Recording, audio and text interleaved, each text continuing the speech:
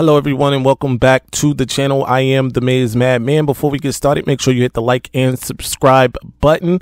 Also, comment in the comment section and share this with your social media and friends. Today, we are talking Michigan head coach Jim Harbaugh getting a second interview with the Los Angeles Chargers. Plus, Michigan assistant coaches are spread out across the country visiting some high level recruits and the top Michigan target still in the 2024 class receives a fifth star from 24 7. All that, and of course,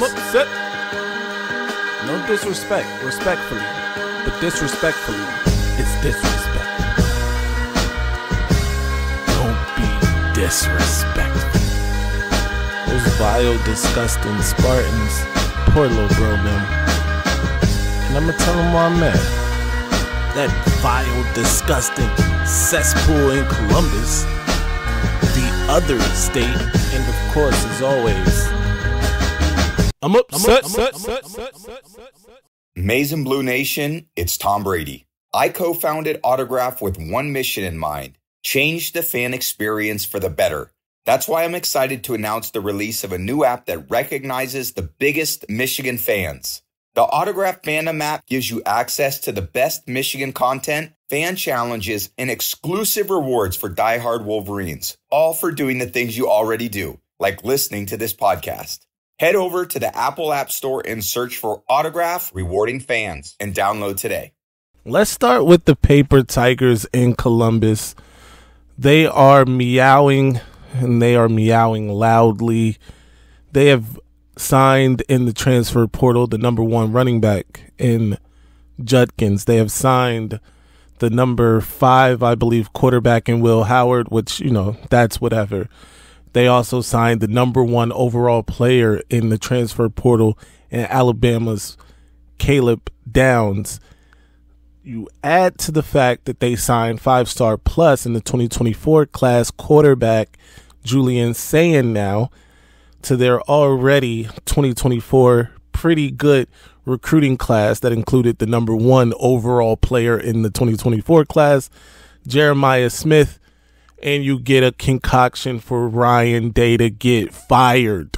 You heard me right. It looked like I was going in a different direction, but you already know I'm the Maize Madman. There's no way I'm about to sit here and praise the paper tigers. That's exactly what they were. That's exactly what they are, rather. They were that last year, right? They were supposed to have the best offense of all time last year. Coming in preseason, on paper, you got Marvin Harrison Jr., you got Egbuka, you got TreVeyon Henderson.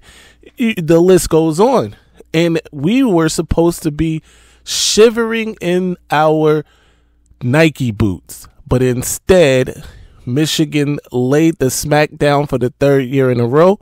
They proceeded to go to that bowl game, lose to another SEC team because they're allergic to beating SEC schools. Uh, and by the way, this SEC school was Missouri of all schools.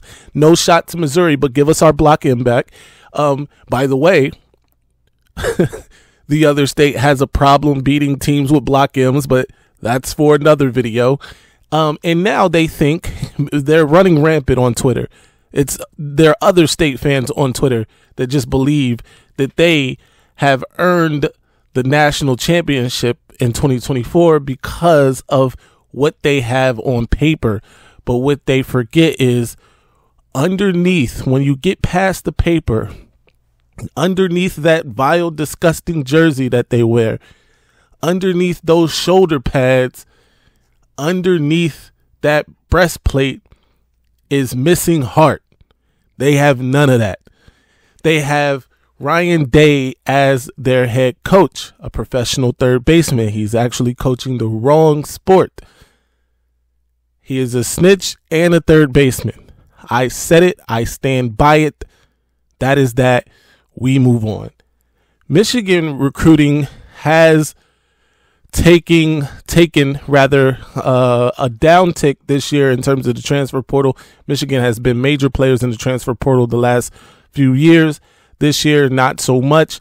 And I know that there's a lot of uncertainty right now with the head coaching situation, with what is going to happen with the head coaching situation if a certain thing happens. So that can be contributed to it, but that's always contributed to Michigan in their recruiting efforts around this time of year. So keep that in mind. But just for uh, facts' sake, Michigan head coach Jim Harbaugh will be in Los Angeles visiting with the Los Angeles Chargers for a second round of interviews.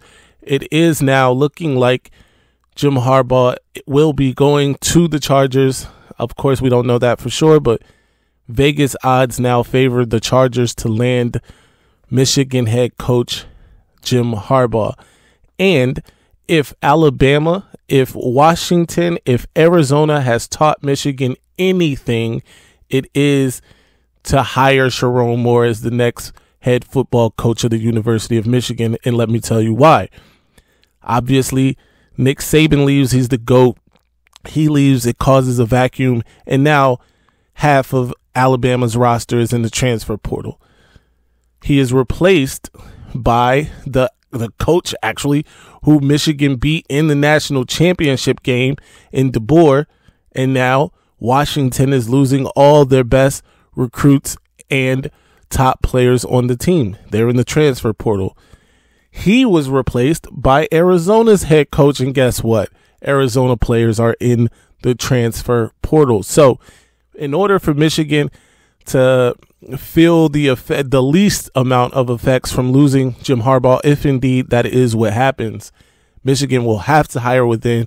They will have to keep some of that continuity that they have built over the last several seasons.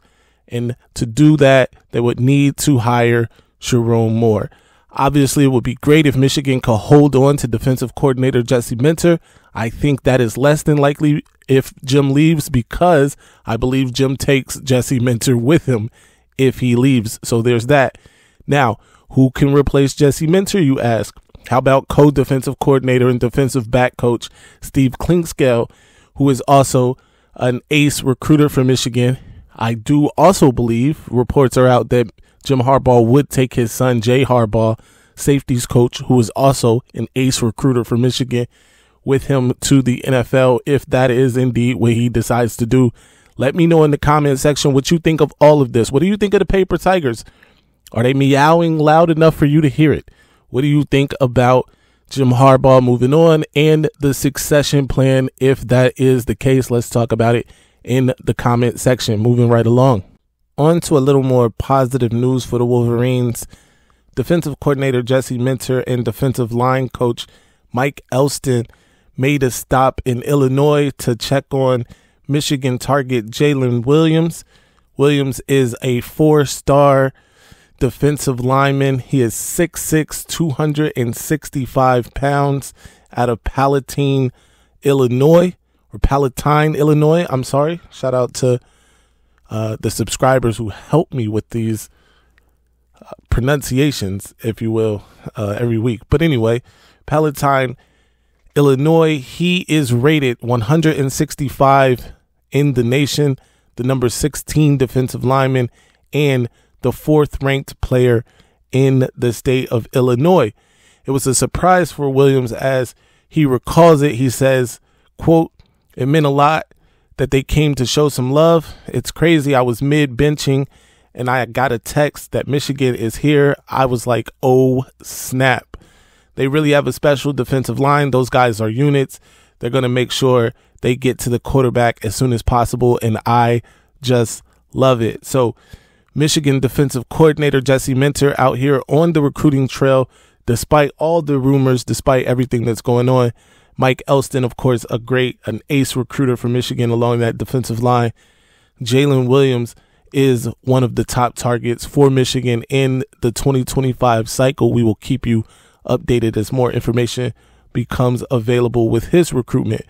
Along with defensive coordinator, offensive coordinator, Sherrone Moore also was on the recruiting trail as he went to see top a top Michigan target Avery Gatch Avery Gatch is an absolute monster. You see his tape. He is absolutely destroying defensive linemen and defensive players, whoever they are. Um, he probably has more pancakes than any offensive lineman I've seen on film, but he is an in state recruit, four star. offensive tackle, 6'5, 275 pounder. He is ranked 193 nationally, the 11th ranked offensive lineman in the country, and the third ranked player in the state of Michigan. Gatch would be a massive get for the Wolverines for obvious reasons.